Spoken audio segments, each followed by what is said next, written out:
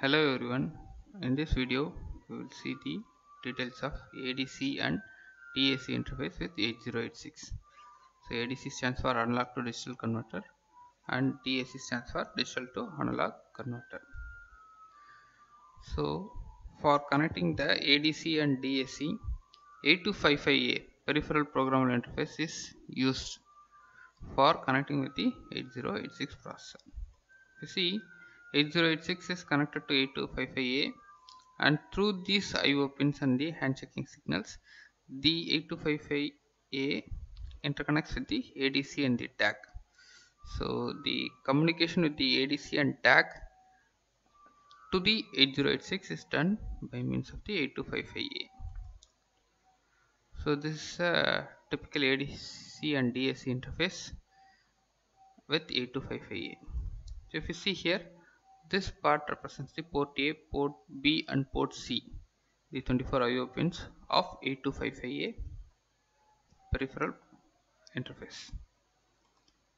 So this section indicates the group A which includes port A and the port C upper. So port A 8 pins and the port C 4 pins connected to the ADC interface. So this is a 8 bit analog to digital converter and this is a sample and hold circuit. This is a one shot. Okay. So this section indicates the ADC interface section.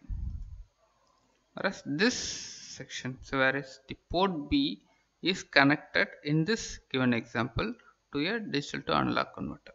Okay. So now we will get into the details of analog to digital converter interface.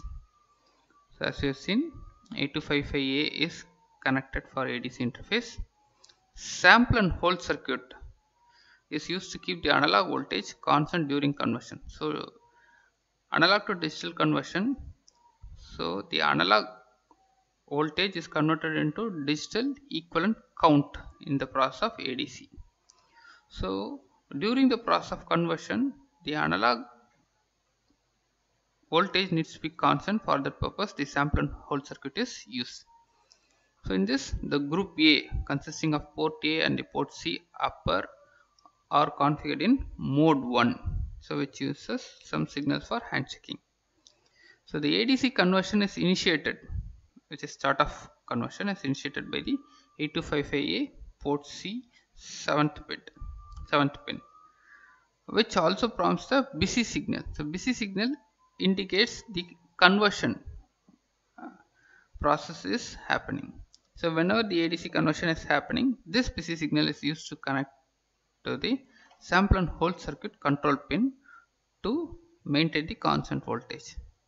And at the end of the busy signal, it is connected to a negative triggered one shot to indicate the end of conversion. So when this end of conversion happens, it will be used for strobing the ADC count to the port A. So you will see the details here. So this is the sample and hold circuit which is used to keep the analog voltage constant during the ADC conversion. So if there is even though there is a change in the analog signals at the moment the sample and hold control signal is given that value will remain constant till the end of conversion. So this indicates port A 0 to 7 pins 8 pins are connected to the ADC for reading the values of the digital equivalent count. Next, the PC7, so port C pin number 7, pin 7 is used to give the start of conversion for the ADC. So for the ADC, start of conversion will be given. After it has finished conversion, it will read the count. So for the start of conversion, PC7 is. Next, once the start of conversion is given the ADC gives a busy signal.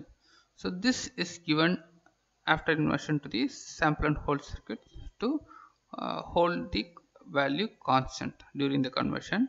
And it the busy signal is also given to the negative triggered one shot. So after the conversion is complete the busy signal will go low which will trigger this one shot indicating that the PC4 which is used as a handshaking strobing signal so when this goes uh, when this one shot is triggered the digital count from the ADC are latched to the port A to be read by the 8086. Now we will get into the details of digital to analog converter interface. So similar to ADC, 8255A programmable peripheral interface is connected to DAC. So here port B alone is used and it is uh, used as a output port and the mode used for 8255A is mode 0. So simple output ports. So here no handshaking is used as in ADC interface and port B is directly connected to the binary value of DAC. So DAC digital to analog converter the function of the DAC is to convert the given binary count so digital count into e its equivalent analog output value. So for this no other handshaking signals are given and only the port B writes the uh, given binary value to the DAC. So the DAC converts it into a given analog voltage and it is sent. So the value to be written to the port B is given by the 8086 processor. Okay. So this is how the DAC interface works. Summary as you have seen 8255A programmable peripheral interface is used to connect ADC and DAC and then we have seen the interfacing for ADC and then the DAC. Thank you.